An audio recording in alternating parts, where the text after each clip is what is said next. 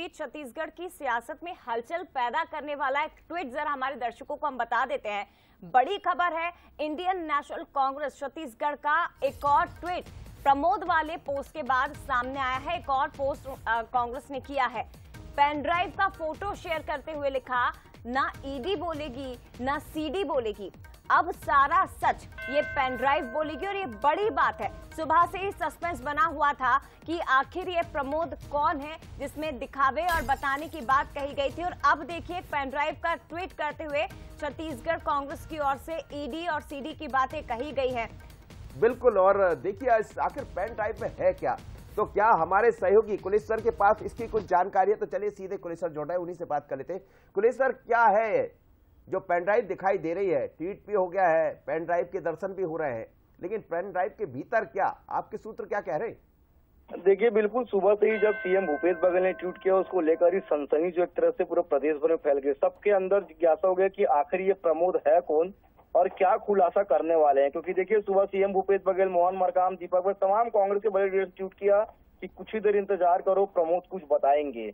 और अब जिस तरह से आईएनसी ने ट्वीट करके कहा है कि ना पेन ना ईडी बोलेगी, ना सीडी बोलेगी, अब सारा सच ये पेन ड्राइव बोलेगा। कहीं ना कहीं कुछ बड़ा मामला है, क्योंकि देखिए, आज ही बीजेपी जो है अपना घोषणा पत्र जारी करने वाली है।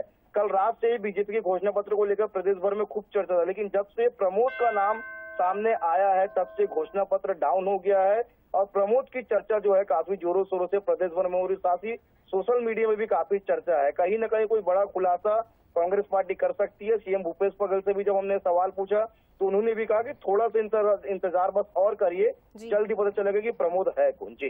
लेकिन कुलेश्वर इतना सस्पेंस बनाने के पीछे की वजह क्या है? क्योंकि पहले सुबह प्रमोद को लेकर सभी अपने दिमाग के घोड़े दौड़ाते रहे कि आखिर प्रमोद है कौन? जिसने छत्तीसगढ़ की सियासत में हलचल पैदा कर दी उसके अब आ, कम से कम दो घंटे बाद ये सीडी को लेकर और ट्वीट किया जाता है पेनड्राइव का एक फ़ोटो शेयर किया जाता है। तो इसके पीछे की मंशा क्या है? क्योंकि छत्तीसगढ़ में ईडी को लेकर सियासत शुरू से ही होती रही है।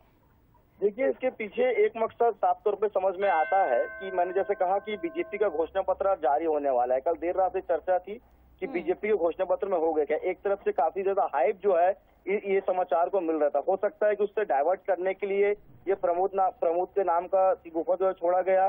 लेकिन कहीं ना कहीं जब से प्रमोद का नाम सामने आया, जिस क्योंकि सीएम मुखिया है छत्तीसगढ़ के मुखिया है, और वो ट्वीट करके बोल रहे हैं कि प्रमोद को उन्होंने क्या दिखाया, फिर प्रमोद ने उन्हें क्या बताया तो निश्चित तौर पर कहीं ना कहीं प्रमोद जो है, वो निश्चित तौर पर जल्द कुछ बताएगा, और कहीं ना कहीं इसको इसी से देखा जा सकता है कि एक तरफ़ बीजेपी और अमित शाह यहाँ पर आए हुआ दूसरी तरफ़ प्रमोद। तो कुल मिलाकर डाइवर्ट जैसा लग, ये स्थिति पूरी स्पष्ट हो रही है, लेकिन थोड़ा सा इंतज़ार हमें भी करना पड़ेगा। प्रमोद क्या जल्दी सामने आएगा सबसे। जी। बिल्कुल जया और प्रमोद कौन है? ये सस्पेंस बना हुआ है लेकिन